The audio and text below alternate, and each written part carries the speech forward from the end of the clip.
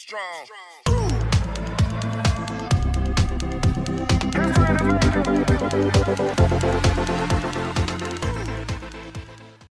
आप देख रहे हैं अपना पसंदीदा यूट्यूब चैनल प्राइमरी के पंख आप सभी विद्यार्थियों को सुप्रभात आज के इस स्पेशल वीडियो में हम लोग सीखेंगे पढ़ना और आज का शीर्षक होगा बिल्ली कैसे रहने आई मनुष्य के संग? बिल्ली कैसे रहने आई मनुष्य के संग? इस पाठ को आज हम पढ़ना सीखेंगे। तो हो जाइए तैयार। देखिए, सुनिए और आप भी इस पाठ को बोलकर पढ़ने का अभ्यास कीजिए और आनंद लीजिए। बिल्ली अपने मौसेरे भाई शेर के साथ जंगल में एक बड़े महल में रहती थी। लेकिन वहाँ वह खुश नहीं थी। बहन, ओह, आई भैया, आई, आ गई। मेरे खाने का वक्त हो गया और तुमने अभी पत्तल भी नहीं बिछाई? बस, अभी बिछाती हूँ भैया। बिल्ली तुरंत केले का पत्ता ले आई और शेर के सामने बिछा दिया। हम्म आज सुबह मैंने भेड़िया पकड़ा था ना? वह परोसो। आहा, मज़ा आ गया। पेट भर गया बहन, साफ़ कर लो सब। हाँ भैया। लो कुछ भी नहीं छोड़ा मेरे लिए, रोज यही होता है। एक दिन शेर बीमार पड़ा और उसका हाल पूछने बहुत से जानवर आए। बिल्ली ने जानवरों का स्वागत करने के लिए हर एक से बात की।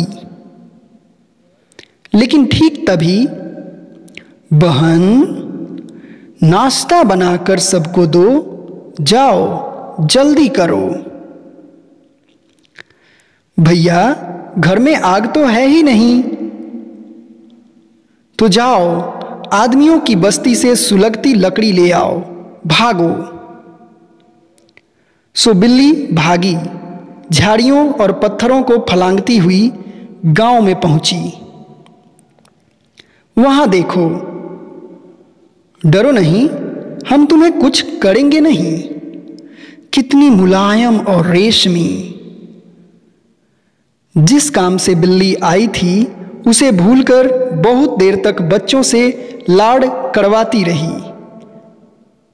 मुझे कभी किसी से इतना प्यार नहीं मिला था। बिल्ली सोचने लगी। अचानक ज़ोर की गर्जन से जंगल काँप उठा। गर्जन गर्जन। यह शेर की दहार थी। हाय रे, मुझे सुलगती लकड़ी ले जानी थी, मैं भूल कैसे गई? बिल्ली एक घर में घुसी और एक सुलगती लकड़ी उठाकर झाड़ियों और पत्थरों को फलांगती हुई भागी। अचानक फिर वही डरावनी गर्जन हुई। गर्जन और कांपती बिल्ली ने शेर को देखा। जिसकी आँखें गुस्से से लाल हो उठी थीं।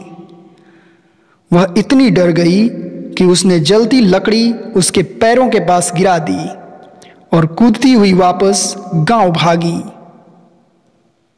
देखो, बिल्ली वापस आ गई। ज़रूर शेर ने उसे बुरी तरह डरा दिया है।